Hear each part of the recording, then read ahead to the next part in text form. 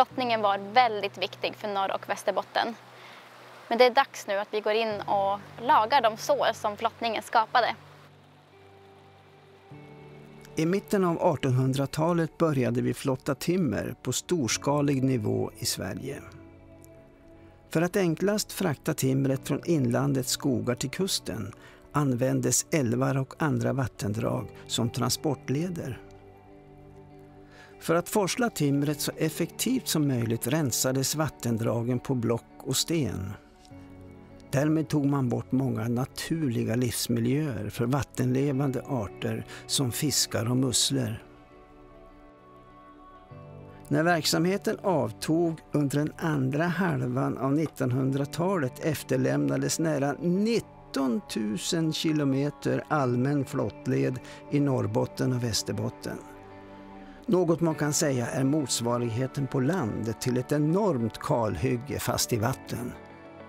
Flottningen av timret var betydelsefull för den svenska välfärden och har, förutom sin viktiga funktion, lämnat efter sig många kulturmiljöer. När verksamheten nu är över är det dags att återställa naturen till var den en gång var. Ja, inte var man för gammal då när jag började. Det var jag inte. 15-16 år. Då var det allihopen som var i skogen fick ju fara på flottningen.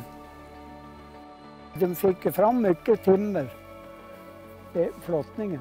För där, du vet, det var många billassen for. Du, om man tänker sig nu vilka bilar som åker varje dag. Det gick ju på flottningen då. Att det blir återställd. Ja, det är positivt.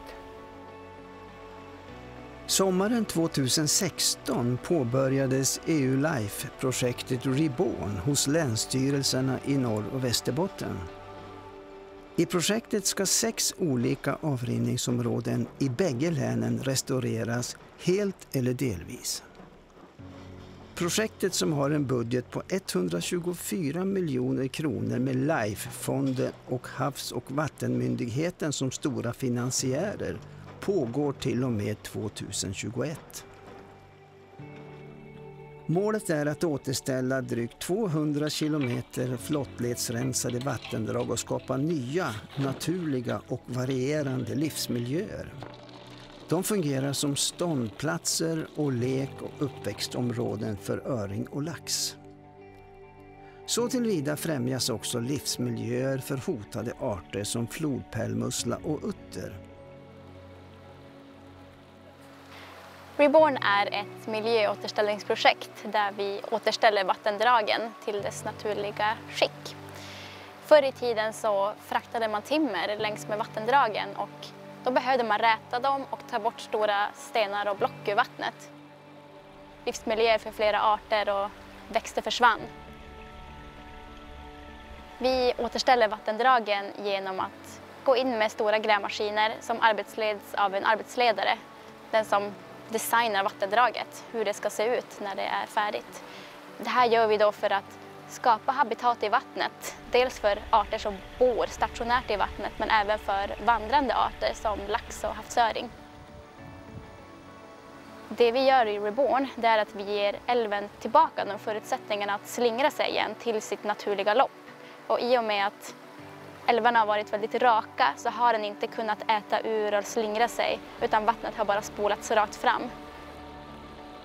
När älven återfår sin naturliga slingring eller meandring så då får den möjlighet att dels ta sig en längre sträcka genom landskapet. Vattnet och marken runt omkring kan samverka. När vi brer ut det i sidofåror och dylikt så då skapar det en vattenhållande förmåga. Och det här är då väldigt bra i perioder där vi möter mer torka som vi har sett de senaste somrarna och även ja, stora floder exempel. Det kan liksom justera både torka och höga floder vilket då är dels bra ur ett klimatperspektiv men även för biologiska mångfalden där vi ser att otroligt många växter och djurarter gynnas just av att, att vattnet flyter lite långsammare. Flottningen var väldigt viktig för Norr och Västerbotten. Men det är dags nu att vi går in och ja, lagar de sår som flottningen skapade. När vi har återställt vattendragen och projektet är över så är förhoppningen att vi ser fritt flytande älvar. Vi ser mer fisk komma upp i älvarna och leka. Vi ser en ökad biologisk mångfald både i och längs med älvarna. I Reborn så skapar vi bättre förutsättningar för vandrande fisk.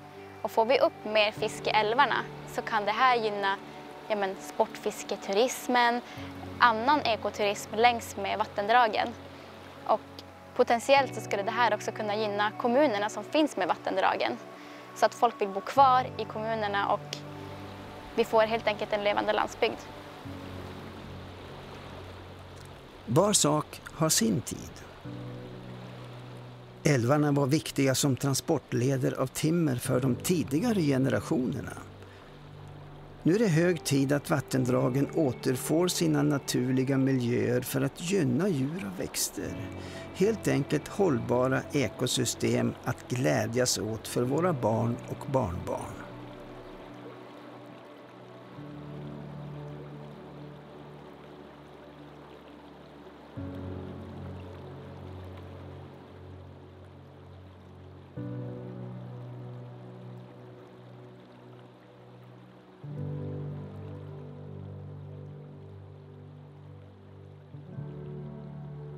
With the contribution of the life program of the European Union.